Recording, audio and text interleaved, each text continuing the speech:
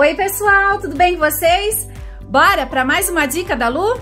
Vamos testar esse impermeabilizante de tecido? Ele protege contra água e sujeira. É uma proteção temporária e a gente deve sempre observar quando começar perdeu o poder de repelência do produto, ele precisa ser aplicado novamente. E a aplicação é muito simples e descomplicada.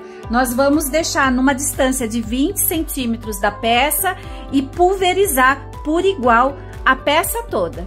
Antes da aplicação, precisa agitar bastante o frasco e essa camada que nós vamos aplicar na peça, ela é bem fininha. Toma cuidado para não ter excesso de produto em algumas partes para que não corra o risco de manchar o tecido.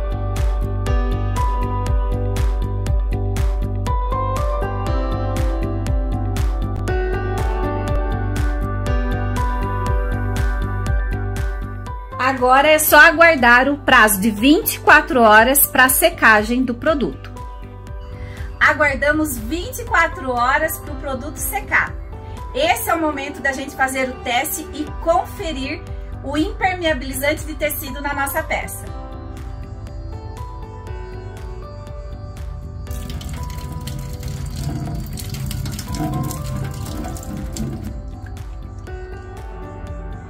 Dessa vez, a gente vai fazer o teste com a torneira aberta. Bora lá?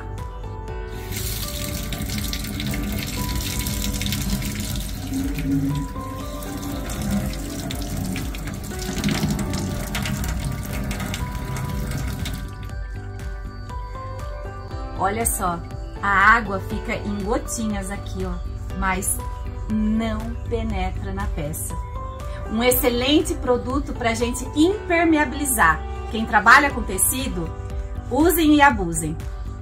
Super aprovado.